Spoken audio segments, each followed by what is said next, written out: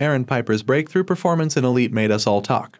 But in his most recent Netflix series, Muted, he says almost little. That's not fully accurate, though. Piper's latest psychological suspense is on a young man named Sergio who allegedly threw both of his parents out of a high-rise flat and thereafter developed selective mutism. Literally, Sergio won't discuss what happened, so a psychologist decides to let him out of juvenile prison so they may observe how he behaves when he goes back to the crime scene. Sergio is not as quiet as the title might imply because he soon begins conversing with a number of viewers of the show. But by the end of these six episodes, that ambiguous and unsettling end scene is sure to have viewers discussing. Did Sergio actually murder his parents? Then, what is Sergio and Ana's hidden relationship? Who actually passed away at the very end? Just long enough to pry your eyes away from the stunning co-star Manu Ríos to learn the truth about what transpired at the conclusion of Muted. Explain Muted ending. Whether Sergio actually killed his parents has been the central topic of this drama since the opening scene. It turns out he did, but it takes a few twists along the way to get there, six episodes later. Sergio claims that his mother experimented on him and later his sister Noah by medicating them with various prescription medications. Sergio did confront Blanca to defend Noah, but it was his father who ultimately shoved her out the window. Mind you, accidentally. Then, shortly after becoming overwhelmed with guilt and taking his own life, he passed away.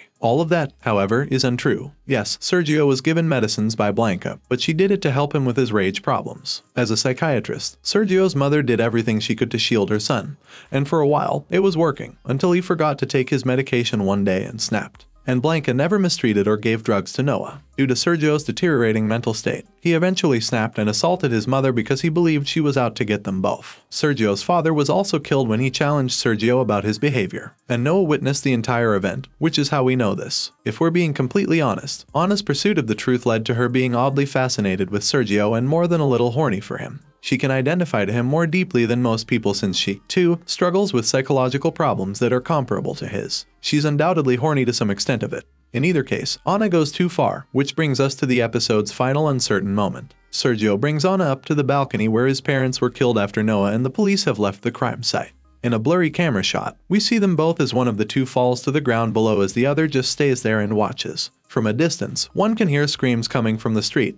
But who just died? Furthermore, did they jump or were they prodded? Even though the truth of it all may not be evident at the time, it doesn't really matter. The question of who is dead is actually irrelevant. Yes, Sergio might have been motivated to push Ana and do his prior act again. However, Ana could have grown angry at the direction their adventure had taken them, to the point where she made the decision to strike out and murder Sergio in the same manner that he had murdered his own parents. It makes no difference either way. Sergio and Ana are initially presented as rivals or at the very least as diametrically opposed. One works inside the law to determine why the crime was committed in the first place, whereas the other is a criminal. However, Ana's fascination quickly consumes her thoughts to the point that she nearly seems to share Sergio's perspective. Her sense of identity vanishes. Making it difficult for us to identify who is who in that final picture is a very purposeful choice on the part of the director since it's almost as if she has transformed into Sergio. Ana had evolved into the very thing she had been following over the course of these six episodes. Whether she made it through this final scene or not, her life would never be the same again, therefore her chapter was essentially over at that point.